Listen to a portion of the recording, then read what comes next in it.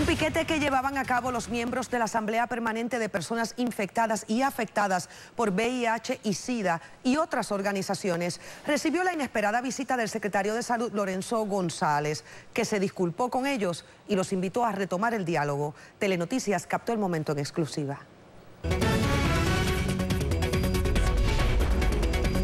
El secretario de Salud, Lorenzo González, pidió disculpas públicas por un comentario descrito como político partidista durante una reunión con una organización que defiende los derechos de los pacientes VIH. Mi disculpas a ustedes, mis disculpas a la población de HIV. Si alguien ofendió de ninguna forma, mi interés es hacer este, algo que fuese ofensivo. Y, se trata, aquí esta es la población VIH y si se permite que ocurra con nosotros, es dar carta abierta que ocurre en cualquier otra agencia gubernamental. Y esto, la salud no puede ser mezclada con política.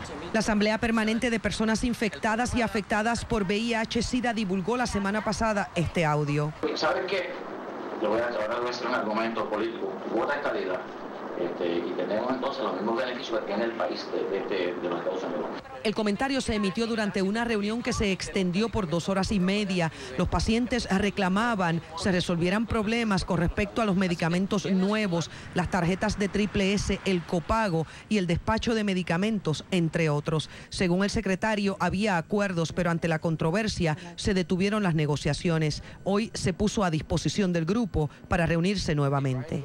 Nosotros tenemos eso que resolver con lo que habíamos discutido con la tarjeta, con los fondos locales, con la respuesta de los hospitales, un poco más complejo. ¿Y este tipo Cuando usted medicamentos nuevos que todavía tenemos que darle seguimiento. Ibel González defendió su verticalidad y aseguró no estar motivada políticamente. Que aquí en Puerto Rico por eso es que estamos aquí, porque aquí en Puerto Rico la comunidad VIH, cuando en años atrás, hace, en, administraciones pasadas nos pusieron una lista de espera, nosotros gritamos y tuvo que ser eliminada.